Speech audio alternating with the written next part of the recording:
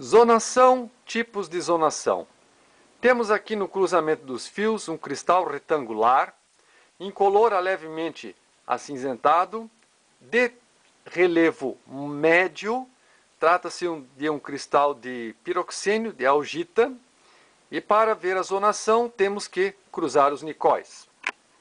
Ao cruzar os nicóis, podemos perceber aqui uma, uma feição bem característica, que é a zonação em ampulheta, em inglês hourglass.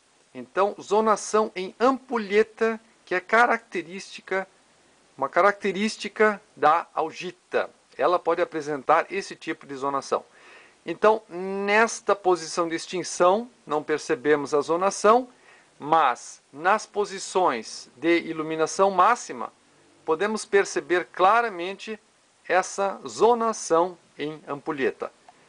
A zonação está muito bem desenvolvida, não é, não é frequente encontrar cristais tão bem desenvolvidos. Normalmente as algitas estão em rochas vulcânicas, formando cristais anédricos, pequenos. Então, este grão aqui está excepcionalmente bem desenvolvido, né? um grão euédrico com zonação em ampulheta bem desenvolvida.